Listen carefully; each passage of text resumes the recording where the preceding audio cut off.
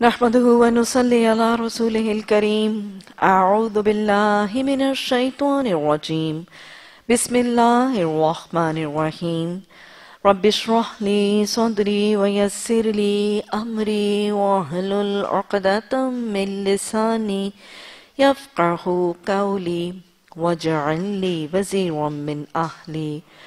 اللهم فكهنا في الدين. اللهم إني أسألك حبك وحب من يحبك وعمل الذي يبلغني حبك. اللهم صل على محمد وعلى آل محمد كما صليت على إبراهيم وعلى آل إبراهيم إنك حميد مجيد. اللهم بارك على محمد وعلى آل محمد كما باركت على إبراهيم وعلى آل إبراهيم إنك حميد مجيد. شرع، کتاب صلاة التراویح نماز تراویح کا بیان. تراویح، ترویحہ کی جمع ہے۔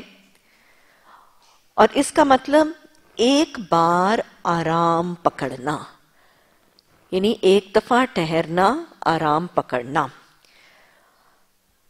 تو لہذا تراوی کی نماز کا نام تراوی اس حوالے سے ہے کہ سنت سے بھی ثابت ہے اور آپ حوالے میں بھی دیکھیں گے، بس اوقات آپ نے عمل میں بھی دیکھا ہوگا کہ نماز تراوی میں بسا اوقات چار رقطیں ادا کرنے کے بعد یعنی دو دو کر کے چار رقط نفل ادا کرنے کے بعد کچھ دیر قیام کیا جاتا ہے اور جلسہ استراحت کی شکل میں کچھ دیر ٹھہر کر دعا مانگ کے اس کے بعد پھر اگلی چار رکتوں کا اہتمام کیا جاتا ہے۔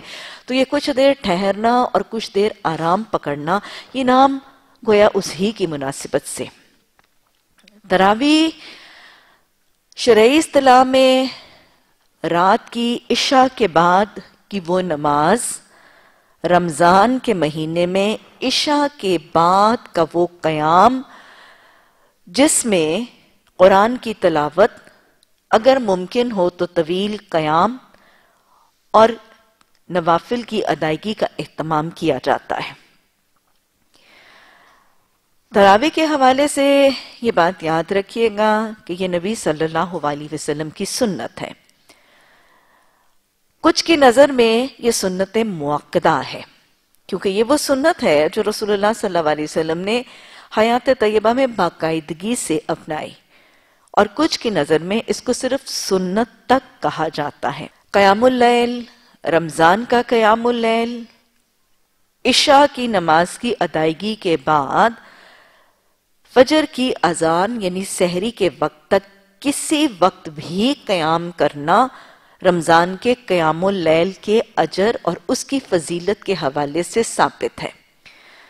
ہم کتاب و تحجد میں پڑھ چکے ہیں کہ تحجد کی نماز نافلہ، وہ جو نفل نماز تحجد کے حوالے سے تذکرہ کیا جاتا ہے، ہم نے بڑی وضاحت سے پڑھا، یہ رات کی آدھی تہائی یا رات کے آخری ایک تہائی حصے میں تحجد کی نماز کا وقت ہے، جس کے بعد عشاء کی نماز قضا ہو جاتی ہے۔ لیکن رمضان کے مہینے میں یہ سہولت ساری رات کے لیے ہے۔ عشاء کی نماز کے بعد بھی اگر نوافل ادا کر کے ان میں قیام کیا جائے گا تو یہ رمضان کے قیام اللیل میں شمار ہوگا۔ آگے جا کر اب دیکھیں گے کہ ہاں اجر آخر رات کے حصے کے قیام کا اجر اول رات کے حصے کے قیام سے زیادہ ہوگا۔ لیکن رات کے کسی حصے میں بھی اگر نوافل اور قیام کا اہتمام ہوا تو یہ رمضان کے قیام اللیل کی شرعی اصطلاح میں شامل ہوگا۔ رمضان میں قیام اللیل یعنی ترابی کا اہتمام، اس کی فضیلت کے حوالے سے حضرت ابو حریرہ رضی اللہ تعالی عنہ ان کی حدیث صحیح بخاری میں آتی ہے کہ آپ صلی اللہ علیہ وسلم نے فرمایا کہ رمضان کے واسطے رمضان کی فضیلت اللہ سبحانہ تعالیٰ نے جس کے ثواب دینے کا وعدہ کیا ہے، جو شخص اس کو سچ جان کر یعنی اللہ نے رمضان میں جو اجر دینے کا وعدہ کیا ہے، اس وعدے کو سچ جان کر۔ اور ثواب کے واسطے، رمضان کی راتوں میں نماز پڑھے گا یعنی قیام کرے گا، تو اس کے اگلے گناہ بخش دیے جائیں گے۔ الفاظ جو حدیث کے ہیں لرمضان لرمضان من قامه ایمانا و احتسابا غفر له ما تقدم من ذنبه، جو ایمان کی حالت میں۔ یعنی اس کو ایمان ہوگا کہ اللہ سبحانہ تعالیٰ بخشنے پر قادر ہے اور اللہ سبحانہ تعالیٰ یہ اجر دینے والا ہے اور نیکی کی نیت سے کرے گا۔ یعنی نیت اس کی ریاض دکھاوے، نمود و نمائش، دنیا کے حصول یا کوئی اور اغراض و مقاصد کی نہیں ہے، صرف نیکی کے حصول۔ اور جنت کے حصول کے لیے کرے گا، تو اس کے اس قیام کی بجا پر اس کے پچھلے گناہ بخش دیے جائیں۔ یہ رمضان کے قیام اللیل کی فضیلت۔ قیام اللیل اور تراوی کی شکل میں اس کا اہتمام کب اور کیسے آغاز ہوا؟ ایک آگے جا کے ہم طویل حدیث پڑھتے ہیں کہ حیات طیبہ میں رسول اللہ صلی اللہ علیہ وسلم نے ایک موقع پر کچھ روایات میں تین دن اور کچھ روایات میں چار دن کا تذکرہ آتا ہے کہ مدنی دور میں ایک رمضان میں آپ نے تین یا چار دن تنابی یعنی اجتماعی شکل میں با جماعت شکل میں آپ نے قیام اللیل کا اہتمام کروایا۔ اس کے علاوہ حیات طیبہ میں با جماعت قیام اللیل رمضان کا، اس کا اہتمام نظر نہیں آتا۔ حضرت ابو حریرہ رضی اللہ تعالیٰ عنہ کی روایت سے مفصل بخاری میں حدیث ہے کہ آپ شخص نے، آپ صلی اللہ علیہ وسلم نے فرمایا کہ جو ایمان سے اور محض ثواب کے واسطے یعنی دکھاوے کے واسطے نہیں، رمضان کی راتوں میں نماز پڑھے گا تو اس کے اگلے گناہ بخش دیے جائیں گے۔ تو ابن صحاب کہتے ہیں کہ نبی صلی اللہ علیہ وسلم کا جب انتقال ہوا تو لوگ رمضان میں اکیلے اکیلے نماز پڑھا کرتے تھے۔ جماعت سے نہیں پڑھتے تھے۔ پھر حضرت ابو بکر صدیق رضی اللہ تعالیٰ عنہ کے خلافت کے دور میں بھی یہی حال رہا۔ یعنی حضرت ابو بکر صدیق کے دور میں بھی لوگ اجتماعی طور پر جماعت کی شکل میں تراوی ادا نہیں کرتے تھے۔ پھر حضرت عمر رضی اللہ تعالیٰ عنہ کی خلافت کی ابتدا میں بھی یہی حال رہا۔ گویا رمضان کا قیام اللیل حیات طیبہ میں انفرادی شکل میں تھا، جماعت کی شکل میں نہیں تھا۔ آپ کی وفات کے بعد حضرت بکر صدیق رضی اللہ تعالیٰ عنہ کے دور میں بھی اجتماعی یعنی جماعت کی شکل میں قیام اللیل کا رمضان میں اہتمام نہیں ہوتا تھا۔ حضرت ابو بکر کی وفات کے بعد حضرت عمر رضی اللہ تعالی عنہ ان کی خلافت کے دور کی بھی ابتدا میں جماعت سے قیام اللیل کا اہتمام نہیں تھا۔ اس کے بعد حضرت عمر رضی اللہ تعالی عنہ کے دور میں جماعت کی شکل میں قیام اللیل کا اہتمام ہوا۔ ابن شہاب بھی روایت کرتے ہیں اور اسے عربا رضی اللہ تعالیٰ نے بیان کیا ہے کہ وہ کہتے ہیں کہ وہ روایت کرتے ہیں حضرت عبد الرحمن بن عبد القاری سے کہ عبد الرحمن کہتے ہیں کہ میں نے رمضان میں حضرت عمر فاروق کے ساتھ مسجد کی طرف نکلا۔ یہ واقعہ کیا ہے کہ وہ راوی کہتے ہیں کہ میں رمضان کے مہینے میں حضرت عمر فاروق کے ساتھ ایک مسجد کی طرف نکلا۔ اور پھر میں نے نہ کہاں دیکھا کہ لوگ جدا جدا بھی نماز پڑھ رہے ہیں اور گروہ گروہ میں بھی نماز پڑھ رہے ہیں یعنی کوئی اکیلے پڑھ رہا ہے اور کوئی جماعت کی شکل میں پڑھ رہا ہے۔ تو راوی کہتے ہیں، حضرت عمر رضی اللہ تعالیٰ نے دیکھا، تو انہوں نے کہا کہ میری رائے یہ ہے کہ میں ان سب کو اگر ایک امام کاری پر جمع کر دوں یعنی جو ان کو نماز پڑھا دے، تو یہ بہتر ہوگا۔ بات سمجھ میں آئی؟ حضرت عمر کے ساتھ وہ راوی نکلے اور کچھ لوگ الگ پڑھ رہے ہیں، کچھ لوگ جماعت کی شکل میں پڑھ رہے ہیں۔ تو حضرت عمر نے کہا کہ میں ان ساروں کو اکٹھا کر کے ایک امام کیوں نہ دے دوں جو قرات کرے۔ تو شاید یہ بہتر ہوگا۔ تو اس پر حضرت عمر رضی اللہ تعالیٰ نے جب قصد کیا تو انہوں نے ابئی بن کعب، ابئی ابن کعب کو جمع، ان سب کو جمع کر کے ابئی ابن کعب کو ان کی امامت کے لیے قرات کے لیے مقرر کر دیا اور پھر لوگ اس جماعت ہی کی شکل میں رمضان میں قیام اللیل کرتے رہے۔ وہ کہتے ہیں کہ اگلی ہی رات، کچھ دن کے بعد ہم رات کو نکلے، تو ابئی بن کعب جو ہیں، وہ جماعت کروا رہے تھے۔ تو حضرت عمر نے کہا کہ یہ تو بہت اچھی بدت ہے۔ یہ تو بہت اچھی بدت ہے۔ یعنی تراوی کے لیے جماعت کی نماز کے حوالے سے انہوں نے کہا کہ یہ بدت ہے اور ایک اچھی بدت ہے۔ اور یہ بھی کہا کہ آپ صلی اللہ علیہ وسلم نے اس جماعت کی، ہمیشگی کا حکم نہیں فرمایا۔ یعنی اس کو بدت کیوں؟ حضرت عمر نے کہا کہ کہتے ہیں کہ انہوں نے نبی صلی اللہ علیہ وسلم اس کی جماعت کی ہمیشگی کا حکم نہیں فرمایا اور جس نماز سے تم سوتے ہو، افضل ہے اس نماز سے کہ تم اس کے ساتھ قیام کرتے ہو۔ یعنی سونے کے بعد اگر اخیر رات کو کوئی نماز پڑھ کر اٹھ کے پڑھے گا تو وہ افضل ہوگا اول رات میں پڑھنے سے۔ تو گویا، اب آپ کو اگر تاریخ دیکھیں تو کوئی میں اس کو سم اپ کر کے دہراؤں آپ صلی اللہ علیہ وسلم نے حیات طیبہ میں ایک رمضان میں تین یا چار دن پڑھی اور اس کے علاوہ آپ نے نہیں پڑھی۔ نہ ہی آپ نے حدیث میں اس کی سختی سے تاکید فرمائی، البتہ آپ نے اکیلے اس کو ہمیشہ پڑھا۔ یہ سنت موقع یا سنت قرار دی گئی۔ حضرت ابو بکر صدیق رضی اللہ تعالیٰ عنہ کے دور میں اس کو اسی شکل میں جاری رہنے دیا گیا۔ حضرت عمر کے ابتدائی دور میں وہی حالت تھی، لیکن پھر حضرت عمر نے جب لوگوں کو دونوں شکلوں میں عمل کرتے ہوئے دیکھا تو ان کو جمع کر کے ایک امام قرات کے ساتھ مقرر کر دیا گیا اور پھر اس کے بعد با جماعت نماز تراوی کا آغاز ہوا اور حضرت عمر نے اس کے لیے فرمایا کہ یہ اچھی بدت ہے۔ کچھ کی نظر میں یہ بدت ہے اور کچھ کی نظر میں یہ بدت نہیں ہے۔ اگر اس کو بدت کہا جائے تو یہ زیادتی ہوگی۔ کیوں؟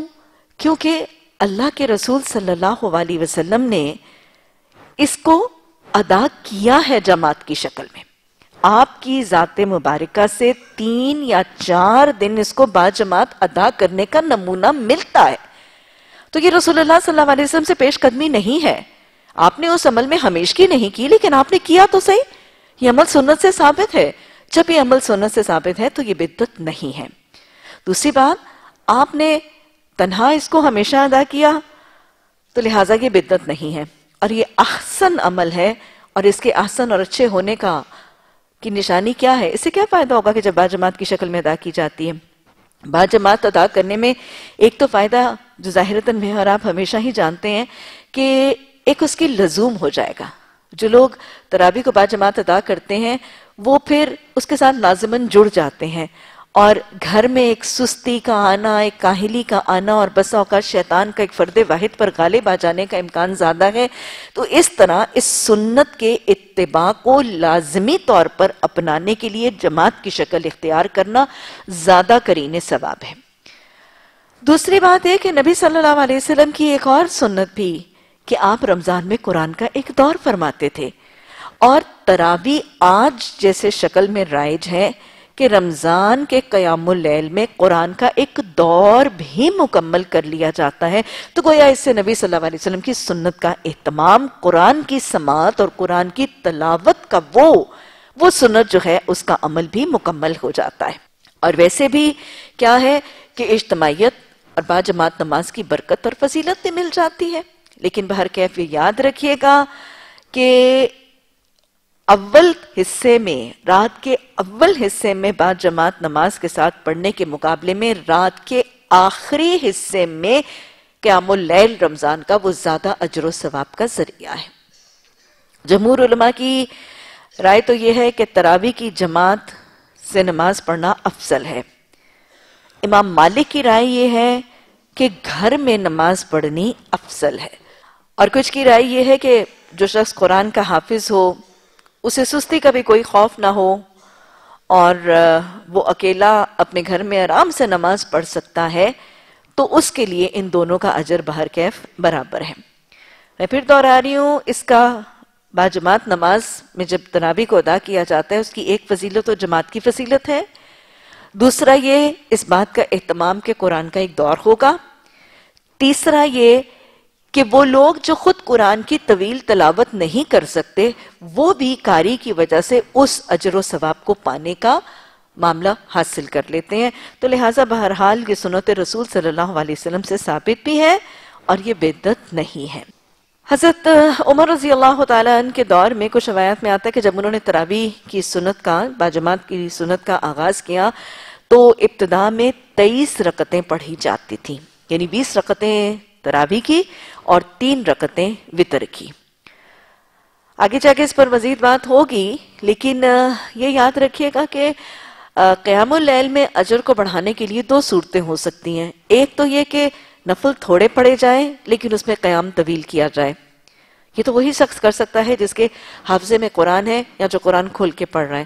لیکن اگر کوئی یہ شخص نہیں کر سکتا، تو پھر دوسرا طریقہ کیا ہے کہ اگر قیام کم کرنا ہے، تو نوافل کی تعداد قصیر کی جا سکتی ہے۔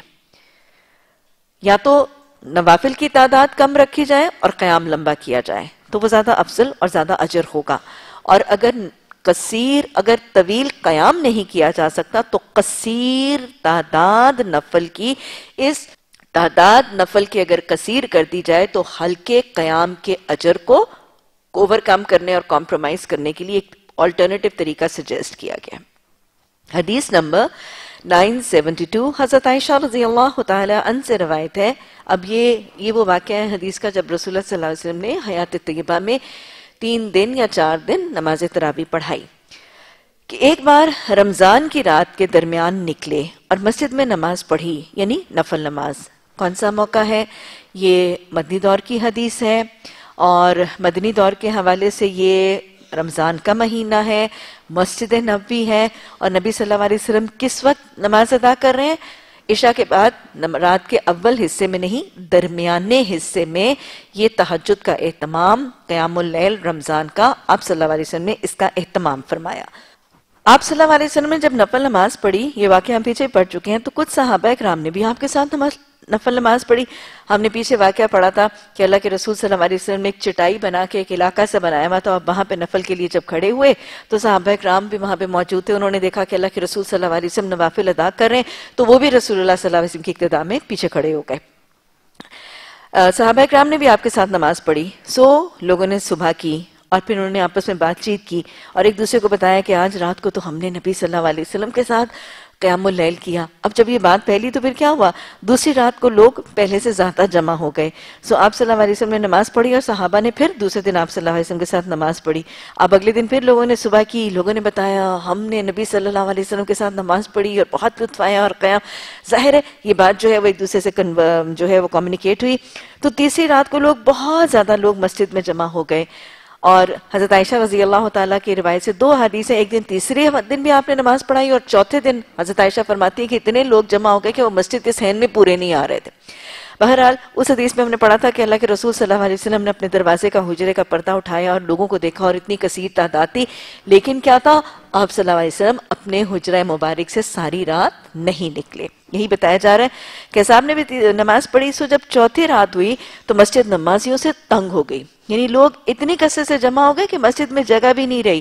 اور اب ساری کے ساری رات عام گھر سے باہر تشریف نہیں لائے۔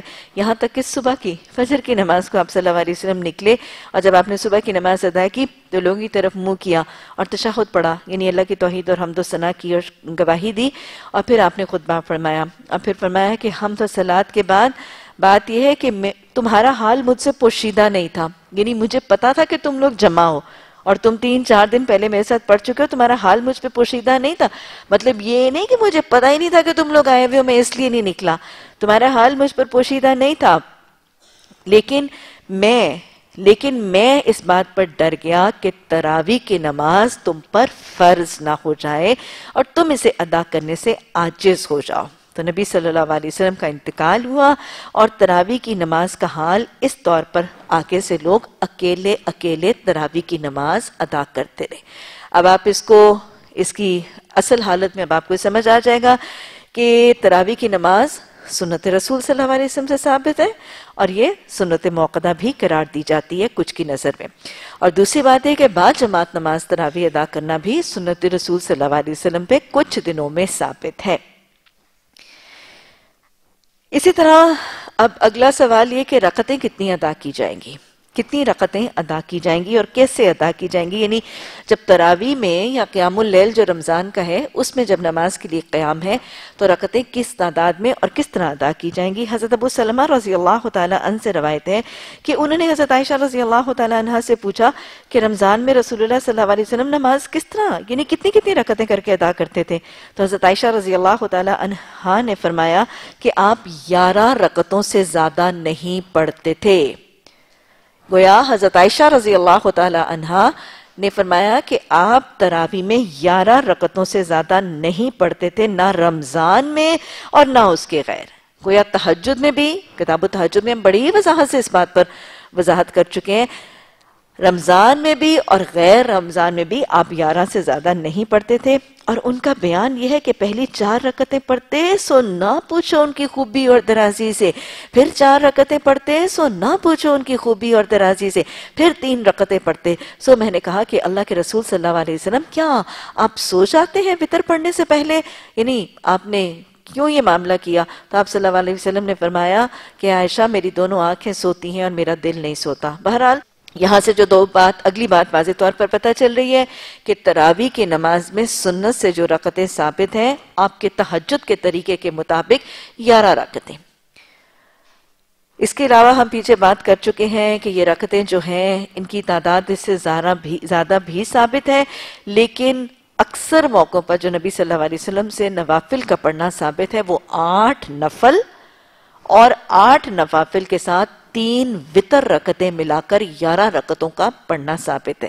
کتاب التحجد میں ہم نے وضاحت سے بات کی تھی کہ زندگی کے ابتدائی دنوں میں آپ صلی اللہ علیہ وسلم نے اس سے زیادہ تعداد نوافل کی ادا کی، لیکن پھر آخری حصے میں نبی صلی اللہ علیہ وسلم نے یارہ رکتیں ہی ادا کی۔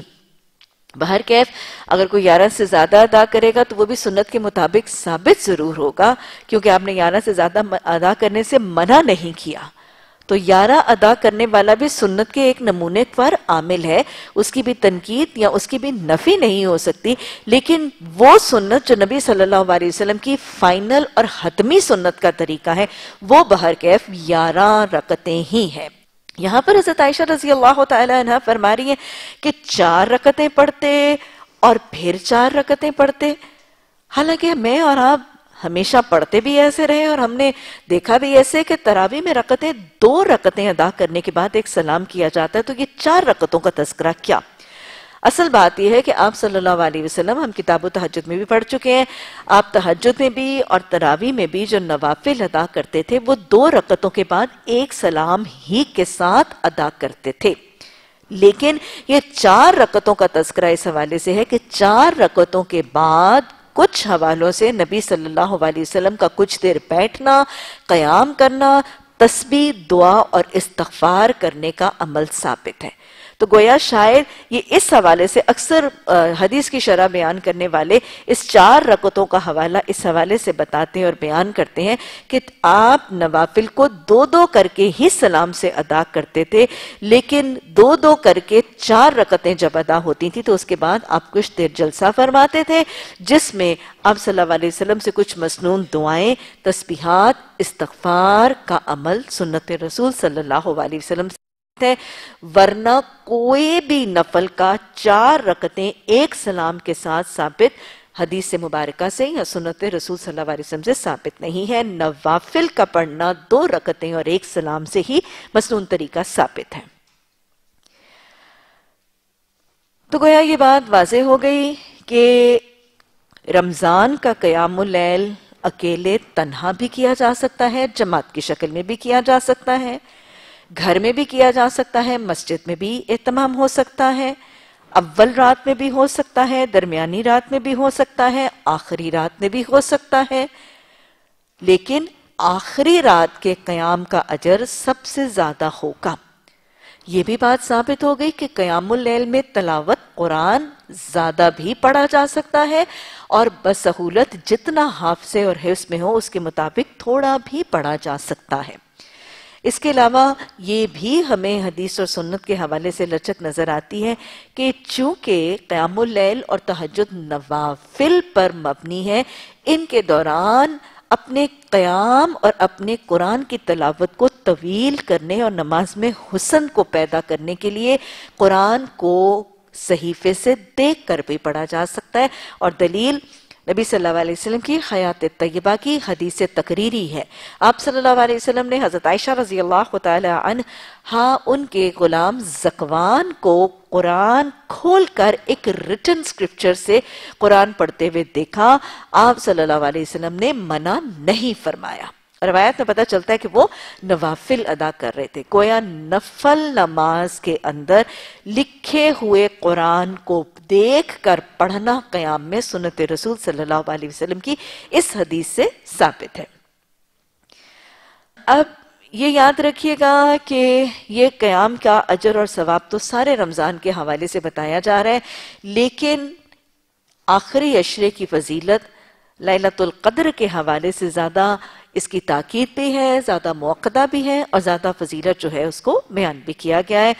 لیلت القدر، قرآن میں اللہ سبحانہ تعالیٰ نے سورہ قدر میں فرمایا، اِنَّا انزلناہ فی لیلت القدر وما ادراک لیلت القدر؟ لیلت القدر خیر من الف الشہر تنزل الملائکت والروح۔ اللہ سبحانہ تعالیٰ نے اس رات کو جو رمضان کے آخری عشرے کی رات ہے، اس کو ہزار راتوں سے، ہزار مہینوں سے بہتر قرار دیا ہے اور اس کی فضیلت بتایا کہ یہ قدر و منزلت والی رات ہے، اس کو لیلت القدر کہا گیا ہے اور یہ بتایا گیا کہ اس میں فرشتے نازل ہوتے لیلت القدر کو قدر و منزلت والی رات اور اس کو قدر والی رات کیوں کہا گیا؟ قرآن میں تفسیر میں انشاءاللہ ہم پڑھیں گے تیسویں سپارے کی تفسیر میں جا کر۔ ایک تو یہ کہ ایک ایسی رات ہے جس میں قدر یعنی تقدیر کے فیصلے کیے جاتے ہیں۔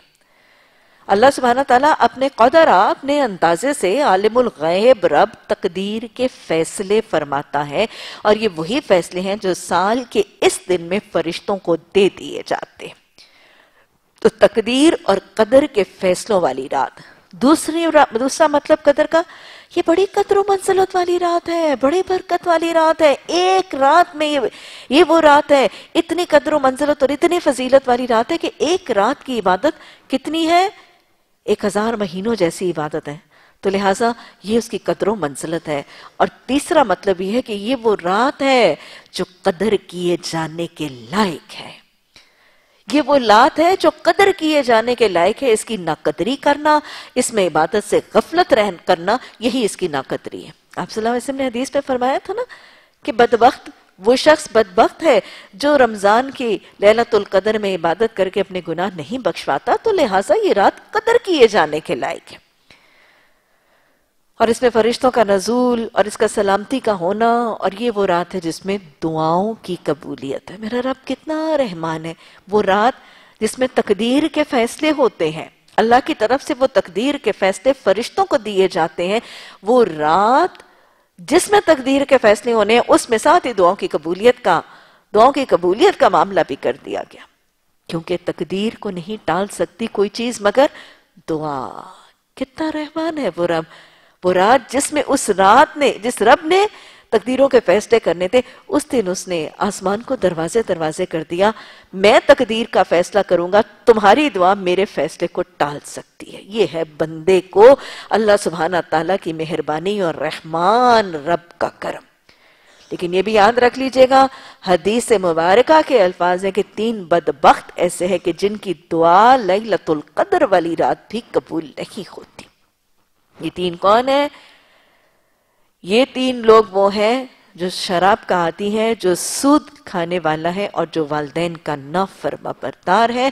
تو لہٰذا اس پس منظر سے اب ہم اس کے احکامات بھی پڑھ لیتے ہیں۔ جی اس کی فضیلت حضرت ابو حریرہ رضی اللہ تعالیٰ عنہ کی روایت سے حدیث ہے کہ جو شخص ایمان کی حالت میں ایمان و احتسابن وہی بات جو قیام اللیل کے لیے آپ نے فرمائی تھی وہ شخص جو ایمان کی حالت میں احتساب یعنی ثواب کی نیت سے اگر وہ لیلت القدر میں عبادت کرے گا یا قیام کرے گا تو کیا ہے؟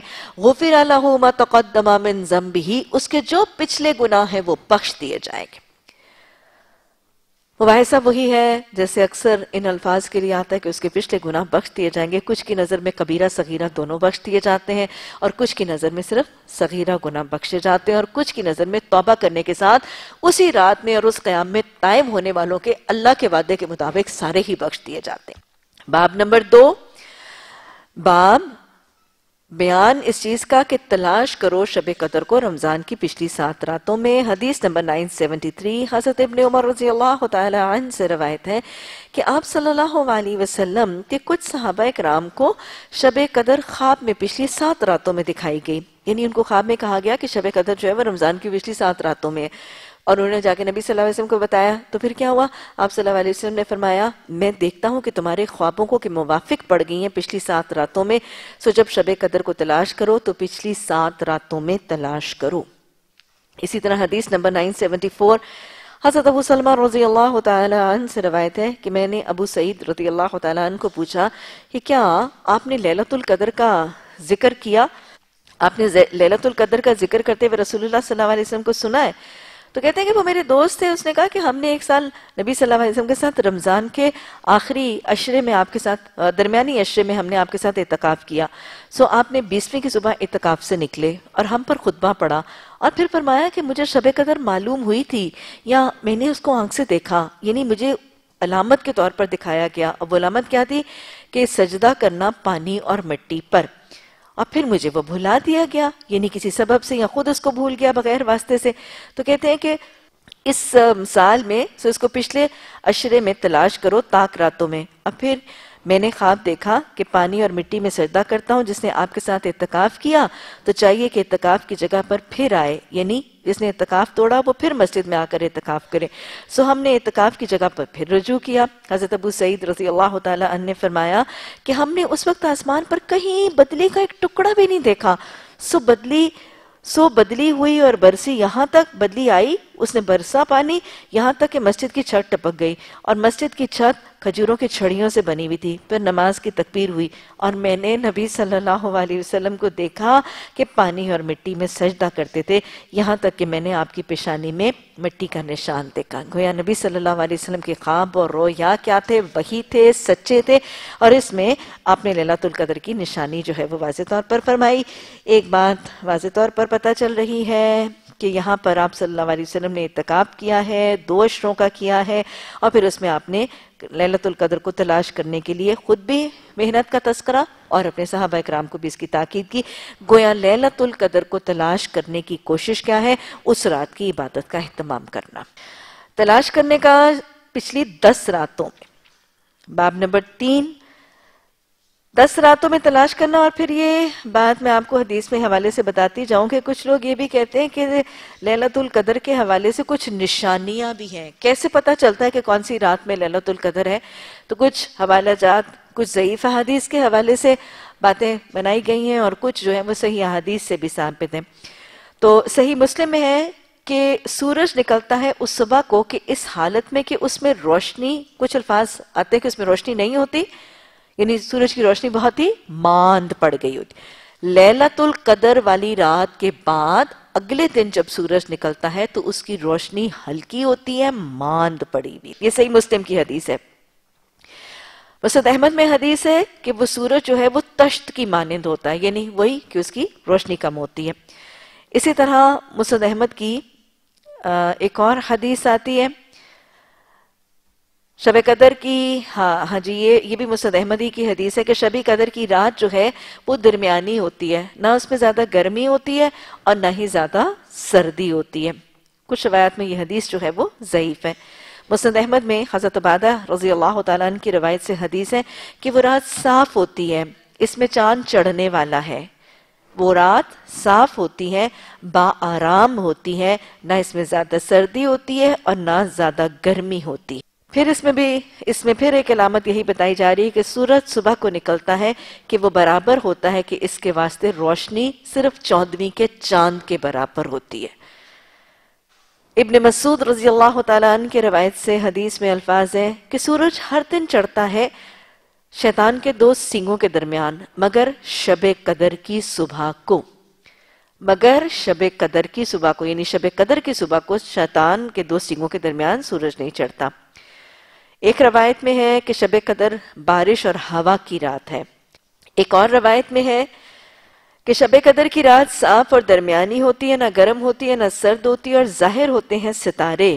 اس کے، اور نہیں نکلتا شیطان اس کا یہاں تک کہ روشن ہو جائے فجر۔ پھر ایک اور روایت میں ہے کہ فرشتے رات کو آسمان پر اترتے ہیں، کنکریوں کی تعداد سے بھی زیادہ۔ یعنی جتنی زمین پر کنکریاں ہیں، اس سے زیادہ تعداد میں فرشتے اترتے ہیں۔ پھر ایک اور روایت میں کہ شیطان چھوڑا نہیں جاتا اور اس رات میں کوئی بیماری پیدا نہیں ہوتی۔ یعنی کسی نئی بیماری کا آغاز نہیں ہوتا۔